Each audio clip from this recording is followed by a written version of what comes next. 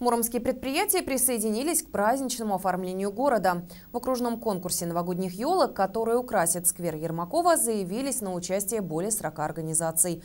Лучшие символы праздника выберут сами муромляне путем народного голосования на сайте главы округа. С участниками парада елок и их новогодними творениями познакомилась Анастасия Белова. Вот такую оригинальную елку представит на конкурс муромский филиал «Газпром» газораспределения «Владимир». Хотя работа над проектом еще не закончена, уже угадываются символичные для предприятия образы и цвета. Елка похожа на синий огонек, который можно увидеть над любой газовой плитой. Используется газовая труба. Ну, что, что у нас материалы какие. Все наши. Трубы железные, газовая труба, которую мы ложим под землю. Ну, гирлянды, логотип наш. Все обыкновенно. Все подручные материалы. Показать в новогодней елке специфику своей работы постарались и сотрудники управляющей компании «Территория». Раз, два, три, елочка, гори!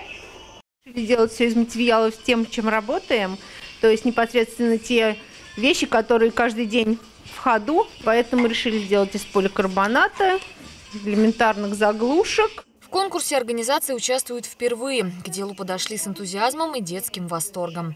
Идею о создании елки новогодней наш коллектив воспринял с большим энтузиазмом. Откликнулись буквально все, и мы распределили обязанности. Сварщики варили каркас, э, смены аварийщиков, каждый оформлял свою сторону. Причем именно тот узор создавали, который они хотели. Вся работа по созданию этой елки доставила нам колоссальное удовольствие. И надеемся, такой же отклик и такое же настроение, с которым мы создавали эту елку, будет и у жителей нашего города. Новогоднюю елку на конкурс представит и ЗАО «Муром». В праздничном изделии также отражена деятельность предприятия. Очень рады возможности предоставить городу наши украшения, создать всем жителям города Мурома новогоднее настроение. Коллектив цеха изготовил эту красавицу из фанеры, произведенной на нашем комбинате.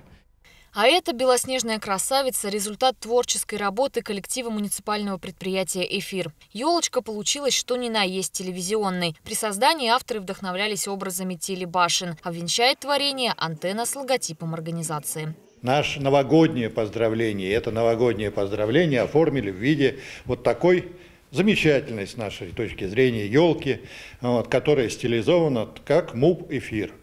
Мы поздравляем муромлян с наступающим Новым годом, Рождеством, желаем им счастья.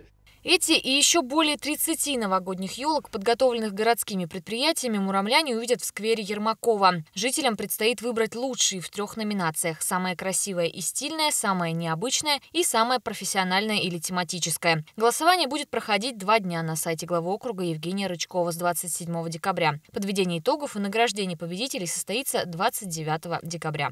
Анастасия Белова, Александр Симонов, Олег Сиротинский. Новости Муром.